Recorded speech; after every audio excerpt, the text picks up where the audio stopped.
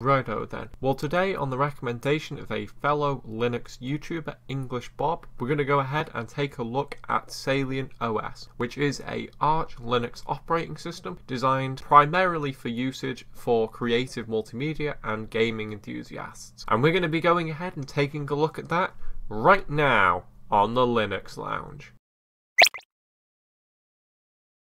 If you enjoyed this video, consider joining Odysee, the freedom respecting alternative to YouTube. Links in the description. Indeed, as I said during the opening, today we're taking a look at Salient OS, which is an Arch Linux based operating system. Now, the first thing to say is English Bob recommended that I take a look at this distribution, and I've got to say, seems like a pretty good recommendation, so thanks for that. Shout out to English Bob, and also shout out to the developer of this distribution, Silent Robot. I've seen them around quite a lot in the community, and a lot of their videos that they have on their channel have been really helpful, so also huge shout out to Silent Robot and thanks for making this awesome Linux distribution. Now, indeed, as I said, this is an Arch based distribution and it's supposed to be quite easy to get installed and stuff. It's closer to vanilla Arch than, say, Manjaro or some other Linux distribution like that, so maybe it won't be quite as easy. But if you're looking for an entry point into Arch, maybe this is the distribution for you. Now, as you can see, right now we are on the Salient OS website. The website is minimal, and I don't have a problem with that at all. In fact, I like how minimal it is. It looks very professional. The only thing that I would have maybe liked to have seen is some screenshots and stuff, but that's no big deal. Now, if we go ahead and click this download button, it takes us over to a SourceForge page, and you can see here that we have a lot more information about the distribution as well as some screenshots. So it tells us that it's an Arch-based rolling release distro, or that sort of thing. It tells us that we have the Calamares installer, so it's going to be quite easy to get installed. It tells us that we've got DXVK, Lutris, Steam, Proton, all the works that makes it super easy to get gaming on Linux.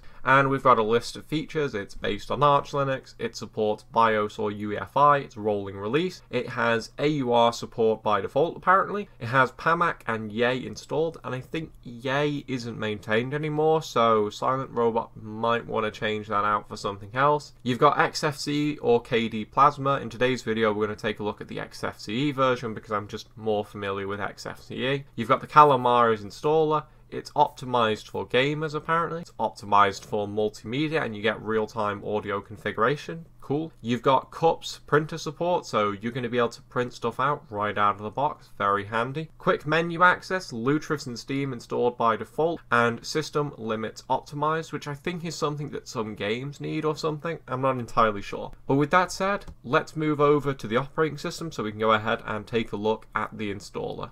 And indeed, here we are in Salient OS. Now, as you can see, it's a really, really nice looking desktop, but we'll get onto that later. First, let's go ahead and get this installed. Now, for those of you who've used lots of different Linux distributions, you might recognize this installer as the Calamares installer. Lots of different Linux distributions use it, and with good reason. It's a really nice, simple installer. So, with that said, let's go ahead and take a look at it. Now, this is actually worth looking at because Salient OS has some features that other Linux distributions don't. It does add some things to Calamares that are quite useful. So with that said, let's just go ahead and go through the install. As you can see, a lot of it is pretty standard stuff. You can easily set up swaps, so that's quite useful, but we're not going to do that. I've already put in my information. Interestingly enough, there's a require strong passwords button. Now, I can't tell if this is a new feature of Calamares or if it's a Salient OS feature. I don't know because I haven't used used any distribution to install through Calamares in quite a while, but it is a cool feature to have. But we're going to go ahead and leave that off because this is just a virtual machine. We don't need a strong password. Next, let's click next. And now we have a list of pretty handy packages that we can go ahead and install right from the installer. So we can go ahead and install our NVIDIA drivers, our Intel drivers, AMD drivers. If we're running in VirtualBox, we can go ahead and install the VirtualBox guest additions and the VMware guest additions, I assume those are. Now, I've got to say, say, this is a really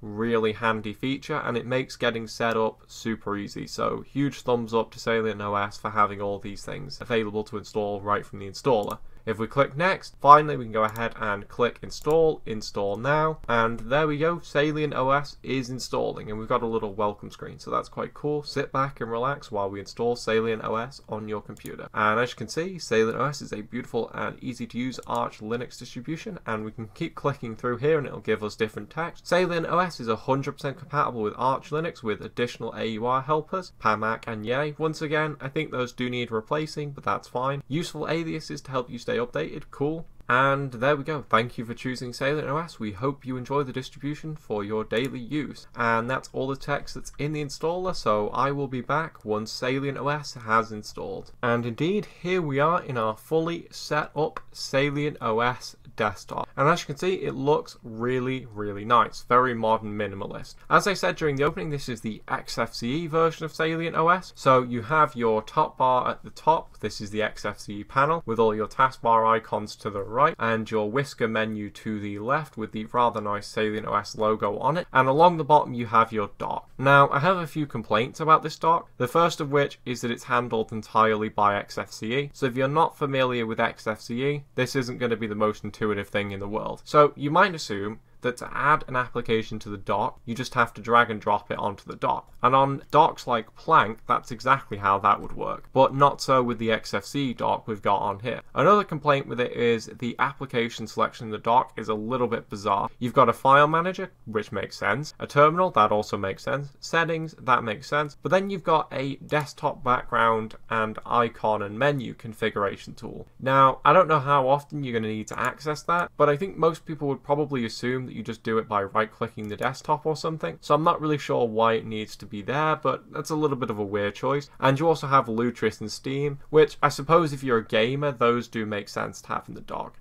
But I have to wonder, where exactly is the web browser and stuff? Surely that's the most used program on any computer, so you really want to have that in the dock, especially since it's not immediately obvious how to change the applications that are in the dock. I don't know, but I suppose if you have any issues with it, it's just a Google search away, and this is arguably less bloated than Plank and other docks like that, so there are ups and downs to it, I guess. Now, I think what we should do next is take a look at the applications which come with Salient OS. Now I have very mixed feelings about the applications that come with Salient OS. There are some really good choices that are made, but also there are some really bizarre choices that are made too. I think the bizarre choices are that there's some programs that are bundled that I don't think most people will use, and there's some programs that I think most people will use that are oddly missing, and there's also some quite bizarre choices in programs. The one good thing that I will say though is a lot of stuff that people are going to want to use is here ready to go, ready to use. And I've actually learned about some programs I didn't know about as a result of looking through Salient OS, so that's cool. But I'll go ahead and raise my complaints as we go through the applications. The one thing that I will say is that the ISO size of Salient OS is 2.5 gigs, if I remember correctly. Now, that's not too much by any means, that will fit on any USB stick, and I don't think that storage will be an issue with Salient OS, but it is just something to be aware of. So with that said, let's go ahead and take a look through the applications. So we have our rather nice whisker menu here, which is quite nicely themed. So let's go ahead and start with our accessories. You've got an application finder, archive manager, bulk renamer, catfish file search, all kind of standard XFCE stuff. Character map, clipboard manager. We've got Compton, which that's for all the desktop effects and stuff, and it seems to work really well. So for instance, if we go ahead and open up the file manager, start dragging it around, you can see that it becomes transparent, and I've got to say, that looks really nice. And of course, this will also remove screen tearing from some devices and stuff too, so it's very useful to have in XFCE. You've got Disk, which that makes sense. You've got Kvantum for some reason. Now, Kvantum is a theme manager for KDE, and I'm really not sure what it's doing in an XFCE distribution. That's quite bizarre. LightDM GTK greeter settings, so you can configure your login screen. You've got Micro, which I can't actually quite remember what this is. I believe it's a terminal text editor. Now, I believe this is the only simple text editor on the system. And I've got to be honest, I would have much rather had mousepad or something like that. But I suppose that's a fine choice. If we keep going, you get nitrogen, which is where the wallpapers are managed. And as you can see, by default, you get a lot of wallpapers. So let's just go ahead and quickly look through some of these. And for some reason, nitrogen has crashed. That's quite strange. So let's just go ahead and use the standard XFCE wallpaper utility because I'm reasonably certain that that won't crash. And as you can see, these wallpapers are really nice, and since the panel and dock are transparent, each wallpaper fits really well. So there's a lot of interesting varied choices here. There's even like Arch Linux wallpapers, which that's pretty cool. There's a lot of quite gamery wallpapers, which that makes sense given the fact that this is a gamer operating system. There's the default wallpaper, which I think was a really good choice. There's some wallpapers that I would maybe say aren't necessarily appropriate for a Linux distribution, and maybe you should leave it to the user to download this sort of thing, but it's nothing too bad by any means. And I do like the variety and the fact that these wallpapers are quite gamery. The only thing that I would wonder is what exactly is the copyright on all of these images? I can't imagine that any copyright holders will go after Salient OS, but it is just something that I would wonder about maybe. So, do you know what? I'm going to leave it as this wallpaper. That's quite cool.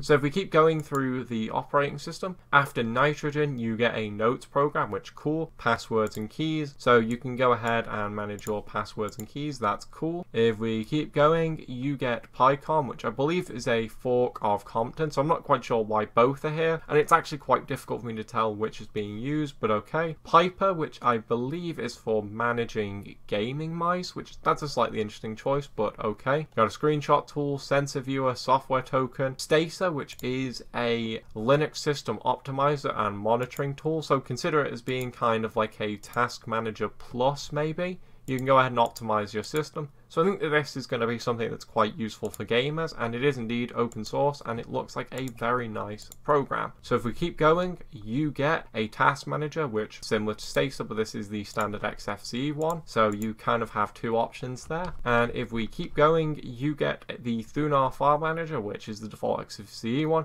You get Vim, and you get Winetricks, which for gamers, Winetricks is very useful. If we keep going in developer, you get Meld. Now, Meld is an interesting choice because what Meld is, is it lets you compare two files. Now, I don't exactly know how often the average user is going to use that, but I suppose it probably doesn't take up too much space. You've got Micro, which is the terminal text editor we looked at a minute ago. You've got Sublime Text 3 Dev. Now, that's a little bit of a weird choice, I'm going to be honest. I don't exactly know how many people who are going to be using this operating system will be interested in a programming text editor but it's here and if you want to use it it's pre-installed for you. Under games you've got GameHub which is a game launcher. You've got lutris which is the kind of the most popular game launcher for linux and for good reason it's very good. And you've got steam so all of these do make sense. The only criticism that i might make here is that steam is not open source software and i wouldn't necessarily want to push people into using non-free software by default. I would probably leave that choice up to the user but since this is a gaming operating system, it does make sense. Under graphics, you've got a document scanner and a document viewer, both good choices. You've got Krita, which, given the fact that this is a content creation distribution as well as a gaming distribution, I think that Krita is a good choice, and in my opinion, it is better than the GNU image manipulation program. You've got Nomacs for your image viewer, which is a reasonably good choice. You've got a color picker, which is very handy for any creative professionals out there. Under internet, you've got a fair amount of stuff. You've got a server browser, which that makes sense. You've got Chromium. I'm not a big fan of including Chromium by default. I would rather encourage people to use Firefox, but there you go. You've got Discord, which I am going to be honest, I'm not a fan of that choice at all. For one, I'm not in favor of bundling non-free software with distributions by default, especially not software that disrespects user freedoms as much as Discord does. And I'm going to be honest, this would be a really good time to bundle something like Element or Telegram or any number of other messaging services to start introducing users to those programs. Because I'm going to be honest, something like Mumble or Element would work just as well as Discord, as well as respect user freedoms. And I think that Discord is one of those things that if the user wants it, they should probably go out and find it for themselves. But that is just my choice. And this is a gamer distribution, so I suppose most gamers who are going to be using it probably use Discord already, but I don't like that it's bundled by default. You also, interestingly enough, get Firefox, so I'm going to be honest, I would have probably have ditched Chromium and just included Firefox. But I suppose if there's a site that's not playing nice with Firefox, you do have Chromium here as well to try it again in Chromium. You also once again get Steam, which that makes sense. Under multimedia, you get Audacity, which is a good program for any creative professionals out there. Guvcview, which I believe is a webcam viewer, also handy for creative professionals and really just anyone else. You've got OBS Studio, which is a nice program for streaming. You've got Pulse Audio. You have the Qt test utilities and stuff. You've got Simple Screen Recorder, which is a great screen recorder. It might be a little bit unnecessary given we also have OBS, but Simple Screen Recorder is much easier to get to grips with, so I understand why it was included. And you also get VLC. Personally, I prefer MPV, but I understand that VLC is much easier to get to grips with. I should also say that I find it to be a little bit weird that there's no video editor included by default, given the fact that there are programs like Audacity, Simple Screen Recorder, and that sort of thing included by default, I think that most people who would be using all of these programs would probably also want to edit a video at some point or another. Now, I wouldn't expect something as heavy as Kdenlive to be included by default, but maybe something lightweight like PiTiVi might be a good inclusion. Under Office, you get a dictionary and a document viewer. Now, I'm going to be honest, given everything else that's bundled, it does confuse me why exactly LibreOffice isn't here, because I think that most people are going to want an Office suite at some point or another. So maybe in a future release of Salient OS, I would like to see Libre LibreOffice. And finally, under settings, you've got all sorts of options for Wine. Yes, Wine is bundled by default, very handy for gamers. Generally, I would advise against bundling Wine in the general purpose Linux distribution, but since this is targeted at gamers, that's a good choice. And you've got all the other standard XFCE settings. And under system, you've got Conky, which is for desktop widgets and stuff, which is cool to have. You've got Grub Customizer, so you can go ahead and configure your